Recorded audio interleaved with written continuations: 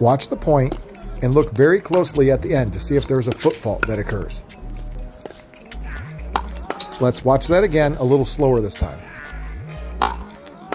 See if you can tell if the left foot pushes off the line. Watch again up close in slow motion. Does the left foot step on the line or not? Camera angle isn't great, so it's hard to tell.